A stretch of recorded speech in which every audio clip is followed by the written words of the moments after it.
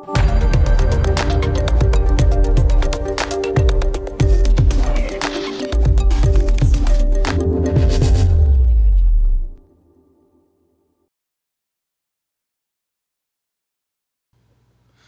importance of the kick drum.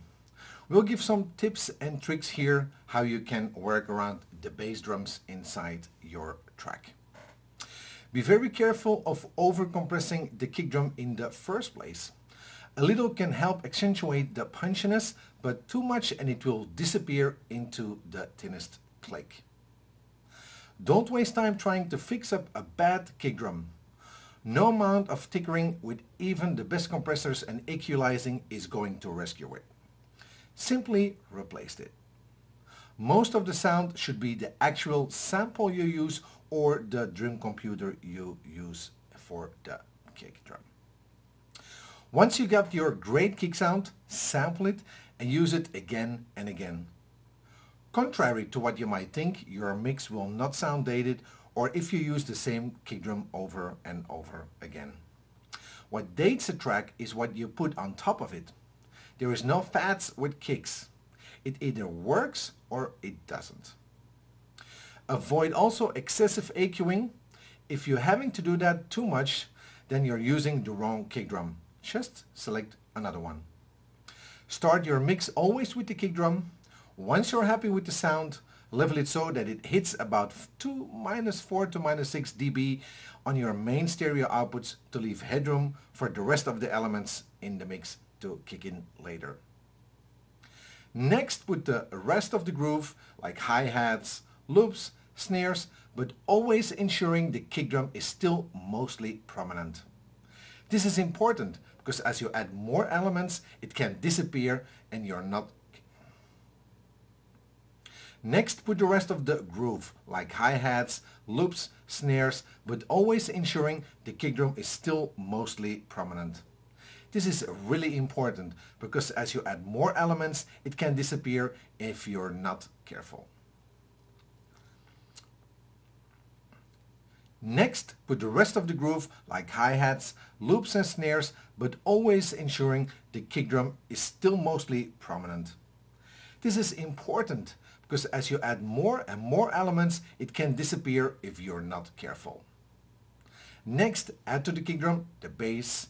I'm assuming you get your bass sounds, leads, strings and other parts of your track ready. Experiment with the level. You're aiming for a good marriage with the kick drum, so the bass should work with the kick without masking it. Next, add the bass. I'm assuming you get your bass sounds, leads and strings and other parts of your track ready. Experiment with the level you're aiming for a good marriage with the kick. The bass should work with the click without masking its click. Ironically, one of the best ways to test for the right level is to monitor at the moderate level.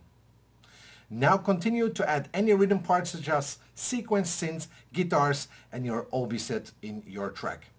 So we're gonna check this in practice. I have four drums for you ready here. A trance kick, a low kick, a house kick, and a techno kick, which of course we use in the different kinds and genres of music.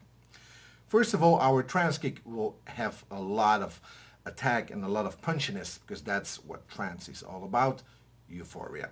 Here we go as an example. I'm gonna put up the volume a little bit here. Here we go.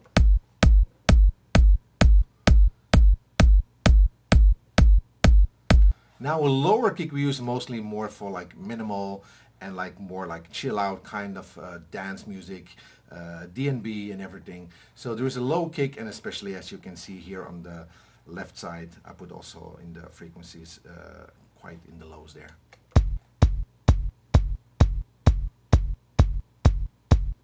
Less punchy, not too much attack, a really short snap as well there. Then we go over to the house kick and house, like we discussed earlier in the house uh, elements tutorial, uh, this is uh, a more uh, straightforward drum. It's much rounder and thicker as well as you can hear. And then we go over to the techno kick, which is of course like really straightforward. A lot of attack, a lot of release uh, on the compression as well. Uh, a strong limiter because uh, techno it's all about the short kind of uh, elements which will be added uh, around the kick drum.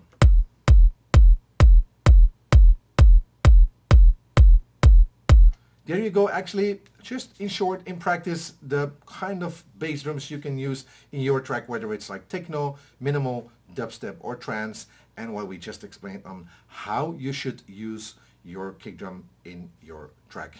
The importance of the kick drum.